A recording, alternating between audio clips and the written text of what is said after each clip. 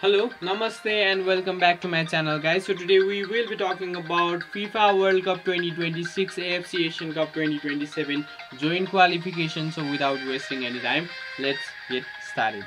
FIFA विश्वकप दुई हजार छब्बिस र एफसी एसियन कप दुई हजार सत्ताइसको जोइन्ट क्वालिफिकेसन अन्तर्गत राउन्ड वान आगामी अक्टोबर दुई हजार तेइसबाट सुरु हुन गइरहेको छ जसमा नेपालले राउन्ड वानबाट सुरु गरिरहँदा छिमेकी देश भारतले भने फिफा वरियताका आधारमा सिधै राउन्ड टूका लागि क्वालिफाई गरेको छ। कसरी त बुझ्दैछ आजको यो भिडियोमा? धेरै ढिला नगरी भिडियोलाई सुरु गरौँ।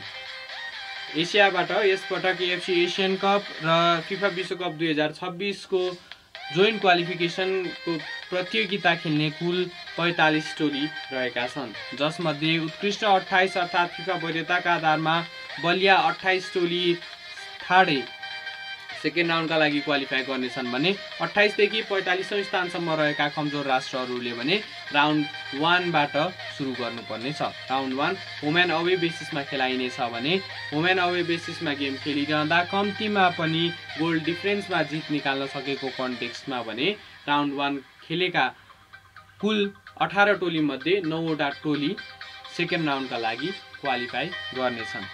यो अवस्थामा यङ स्क्वाडका साथ उत्रिने नेपाली राष्ट्रिय फुटबल टोलीका लागि भने केही जटिलताहरू रहनेछ। भेन्सेन्जो एल्बर्टो एनएजीको प्रशिक्षणमा रहेको नेपाली राष्ट्रिय टोलीका लागि साफ च्याम्पियनसिप भने त्यति सुखद रहेन।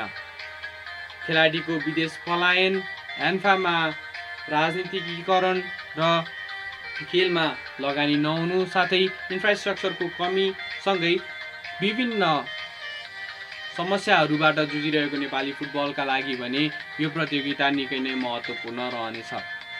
आशा गरौँ अघिल्लो पटक झै नेपालले फिफा विश्वकप दुई हजार छब्बिस र एफसी एसियन कप दुई हजार सत्ताइसको जोइन्ट क्वालिफिकेसनमा उत्कृष्ट प्रदर्शन गर्नेछ र कम्तीमा पनि राउन्ड थ्रीसम्म पुग्नेछ। आजको लागि भने भिडियो यति नै। थप अपडेटका लागि च्यानललाई सब्सक्राइब र भिडियोलाई लाइक गर्न नबिर्सिनुहोला।